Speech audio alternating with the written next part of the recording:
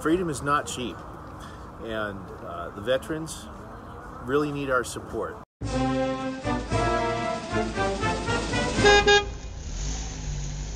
Hi, I'm Bill. I just donated to Patriots and Paws, and this, I have to say, this is one of the best organizations I've ever seen here. I donated a television today to, um, I brought it in, and uh, a gentleman who was an Air Force veteran uh, just happened to need a television, and it was perfect, and so it came out of my car and basically right into his car. Says, if you're going to donate, um, this is the worthy cause to donate to because these folks, uh, freedom is not cheap and uh, the veterans really need our support.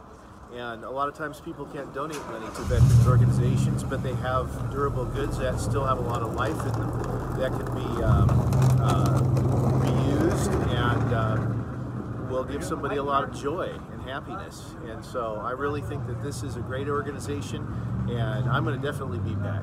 Thank you very much.